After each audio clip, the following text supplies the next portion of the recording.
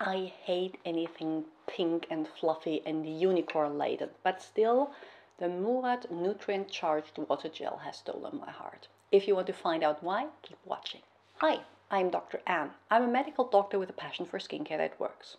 On this channel, we explore the science behind skin and do quick reviews so you learn to pick exactly those products that work for your individual skin concern. So if this is something you're interested in, please consider subscribing and ring the notification bell. Today I want to talk about the Murad Nutrient Charged Water Gel, or as I like to call it, a millennial's dream, because Look at that. Don't you think that looks amazing on any shelfie or texture shot or whatever the cool kids do on Instagram? But of course, the looks is not the only thing that we should care about in a moisturizer. So let me quickly tell you what Murad claims this does. Intensely hydrating oil-free water gel contains revolutionary cumulative hydration release technology that instantly locks moisture to skin and increases retention for up to 5 days. A nutrient-charged blend of peptides, vitamins and minerals strengthens the skin barrier for plump plump and smooth skin. First things first, I have no idea about the cumulative hydration, release, retention thing technology, and I have no means to measure if this one increased my skin's water retention by the amount X for up to five days.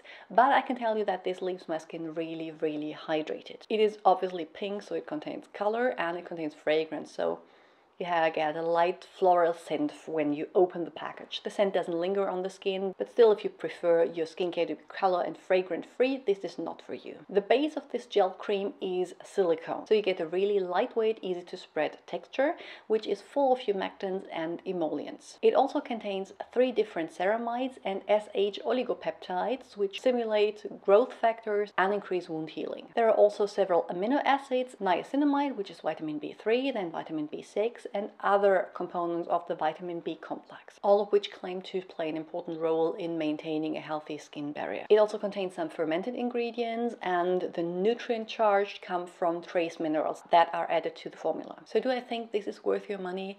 Well, it is kind of expensive, but I really enjoy the texture. I admit I do enjoy the color more than I thought I would and I think the ingredient list is quite impressive. Given that my moisturizer is only needed to really lock in hydration, I'm not sure that you have to spend that much money, but if you feel spendy and want something that pleases the eye as well as the skin, this one is a great choice. People with dry or really dehydrated skin might need something extra, but for all the normal combination and oily girls out there, this is great, especially in the summer months. And with that, I'm going to link to more videos that I think you might enjoy, and I'm going to see you all very soon with the next one.